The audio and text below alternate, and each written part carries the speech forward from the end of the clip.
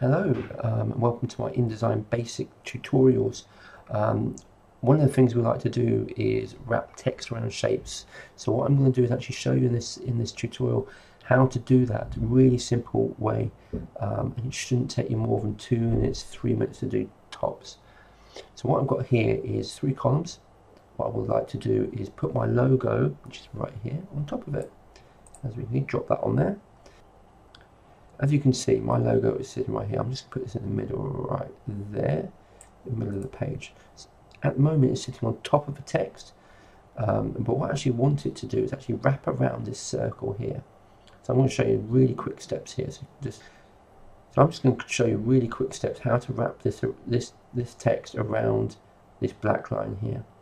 First of all, select your uh, your image. Go to Window at the top on your menu bar. Click on there. You get a drop down menu.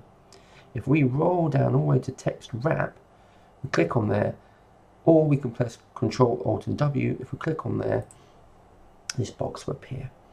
What we've got here is different options. And if you roll over each of these options, it tells you what they do.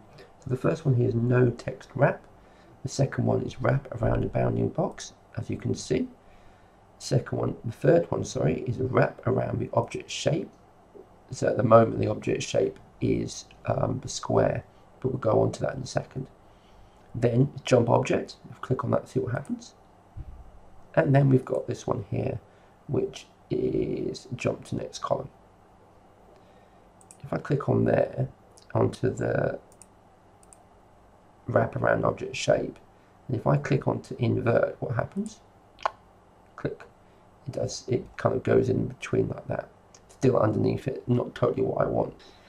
These are different options we can do. If you look at this one here, this area here, this is the offset, these are the offset buttons or offset um, controls. If I click on here, can you see a blue line start appearing?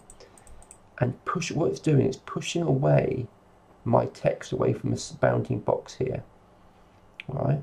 So if I just push it down to 10 so you can see a bit more pronounced. If I look here, it says wrap options. It says wrap to both right and left sides, which I want.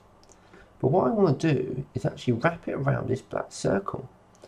At the moment it's the same as clipping. But if I drop down the contour options right there, drop down there, I've got some more options here. Graphic frame, alpha channel and bounding box. Nothing's really going to change too much. Unless I click on this one here, which is detect edges. Alright? So what detect edges does, it detects what's around our box and wraps our circle around there. So I'm going to reduce this a little bit so it's not so pronounced to about that, about four. There you go. Now if I click away, we've now got our image with our text wrapped around my logo there. So that is quite simply how you wrap text around shapes and images in InDesign. Thank you very much. If you've got any comments, please just drop them in the comments box below and I'll do my best to help you out.